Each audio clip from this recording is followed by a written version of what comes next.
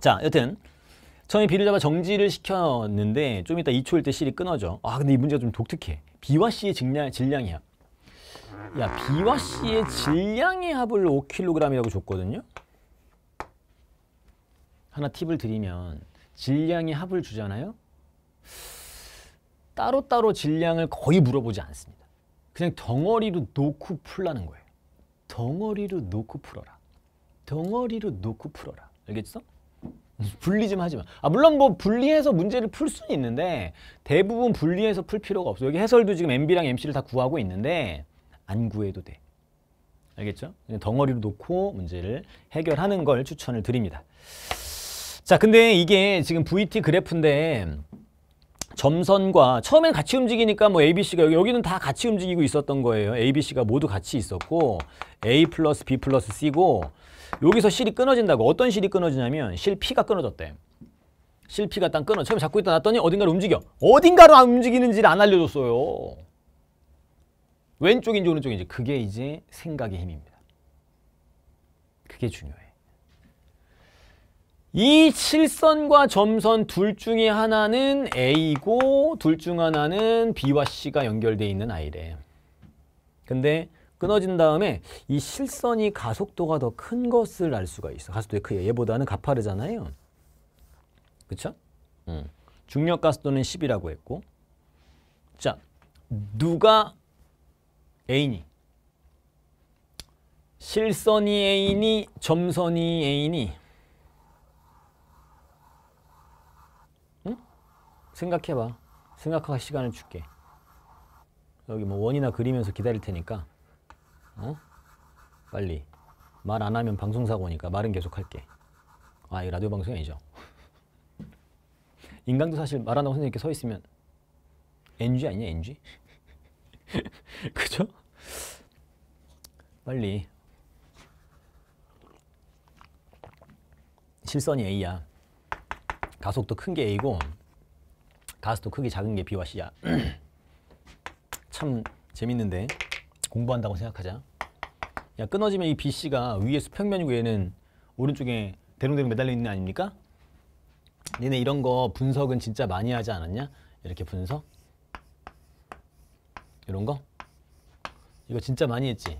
고2 때도 막 하고 수능 문제도 많고 얘 가속도는 무조건 G보다 작은 건 아니? 그러니까 많이 하면 뭐해? 저게 주보의 장리라고 부르면 항상 작다. 맞아? 항상 작다. 맞아? 항상 작아. 그러니까 공부를 해봤자 이런 걸 잘 물어보면 대놓고 물어보면 니네 맨날 했던 거잖아. 잘 대답을 못 한다고요. 야 당연히 G보다 작은 거야. 그쵸? 예. 네. 이렇게 돼야지 G거든요. G보다 작은 거죠. 얘는 무조건 G보다 작아. 응? 끊어지잖아? 이거 어디로 움직이고 있었어? 잡고 있다 놨더니 왼쪽으로 움직이는 거야? 오른쪽으로 움직이는 거야? 어? 이게 맞아, 이게 맞아. 잠깐 시간을 줄게. 원이나 그리면서. 그걸 찾으라고 여기서. 이거 봐봐. 얘는 위로 올라가다 끊어져도 가속도의 크기는 G고 밑으로 내려가다 끊어져도 가속도는 G야, 크기가. 그쵸? 예. 뭐 위로 올라가다 끊어지면 마이너스 G라고 하면 되고 내려오다가 끊어지면 플러스 G라고 하면 되는 거지. 어차피 n G고 n 무조건 G보다 작아. 기울기 작은 게 BC고 기울기 큰 게 A인 거야. 음, 아 이게 A구나. 그럼 봐봐. A가 지금 이렇게 이렇게 됐지? 어, 이거는 내려가고 있었던 거야. A가 내려가고 있었지?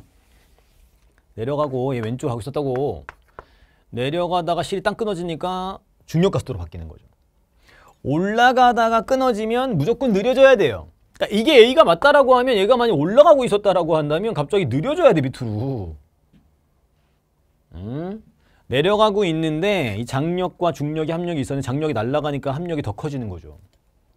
아 얘는 왼쪽으로 하고 있었구나. 얘는 5kg이라고 했어.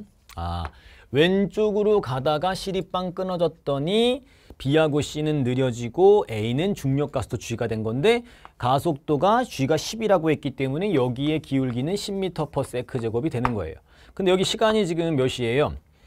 1.5초잖아. 1.5초, 1.5초분에 얼마를 하면 10입니까? 이게 15죠, 15. 15니까 21에서 15 빼면 V는 6. 이렇게 찾으란 얘기입니다.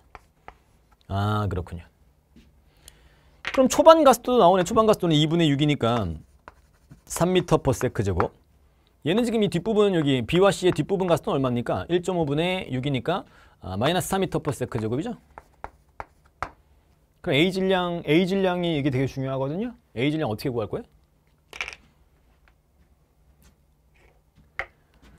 실이 끊어지잖아. 실이 끊어지는 형태에서는 가속도 변화. 여기 가속도 변화가 A랑 BC 덩어리를 구할 수가 있잖아요.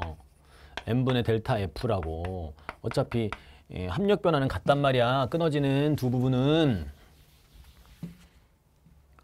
가속도는 벡터죠. A의 가속도 변화는 플러스 3에서 10으로 7. 가속도 변화량의 크기는 A는 7대, BC는 3 플러스 3에서 마이너스 하니까 7입니다. 1대 1이에요. 질량이 1대 1이니까 A랑 BC 덩어리가 1대 1, A는 5kg인 거예요. 이렇게 찾아달라라는 겁니다. 그러니까 BC를 따로 구할 필요가 없어.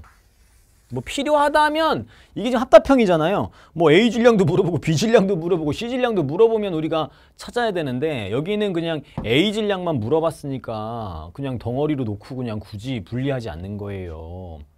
어차피 끊어지는 것도 BC 덩어리랑 A 덩어리로 끊어지니까 이렇게 가속도 변화량이 7대 7로 같기 때문에 1대 1. 그럼 질량도 1대 1이야. A는 5kg이야. 그럼 기억은 6 틀렸 맞았네요. 맞았고요. 니은 틀렸습니다.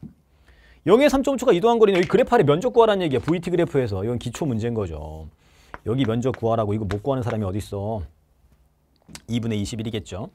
맞습니다. 2분의 21 해보면 답은 기억 디귿 3번입니다. 괜찮아요? 예. 대단히 중요한 문제야 이거는. 별거 아닌 것처럼 보이는데 연결 물체에 끊어지는 거와 VT 그래프는 새로운 교육 과정에서도 아주 중요하게 다뤄, 다루고 문제에서도 출제가 되고 있는 거예요.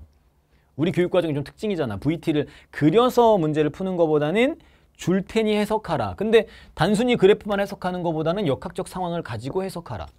거기서 난이도를 높이겠다면 사고력을 요하겠다. 어느 쪽으로 움직이는지 판단해 줘라. 뭐 이런 식으로 접근하는 문제입니다.